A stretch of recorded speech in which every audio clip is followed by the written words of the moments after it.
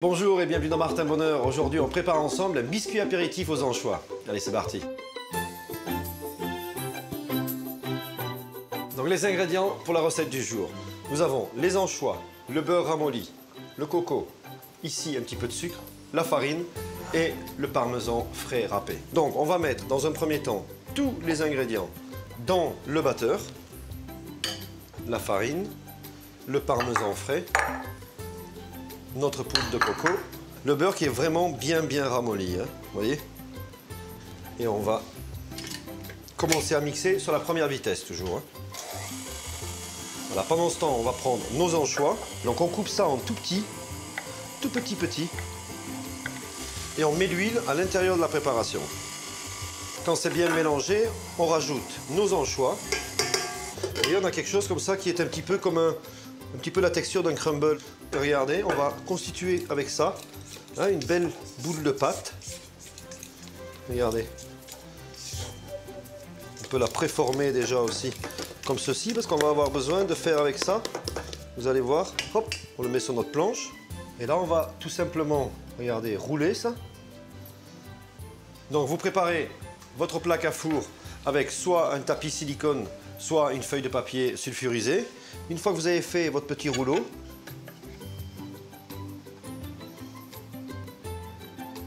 ça, permet d'avoir la même épaisseur partout, donc d'avoir une cuisson régulière aussi.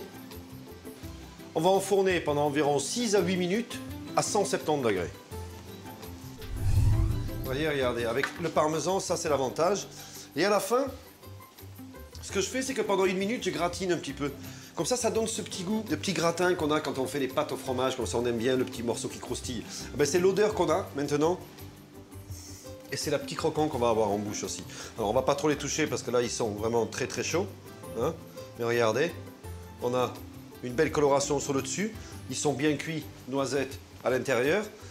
Et je peux vous garantir qu'avec un apéritif, les petits morceaux d'anchois dedans, ça aide aussi.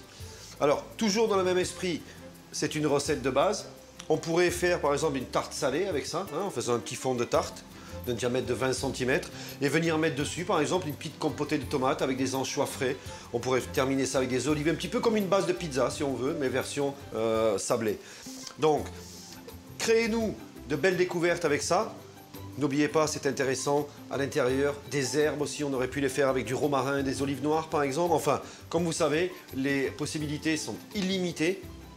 Et nous, on attend toujours avec impatience vos photos, vos recettes pour les publier sur la page Facebook de Martin Bonheur, qui est aujourd'hui votre page. Bon appétit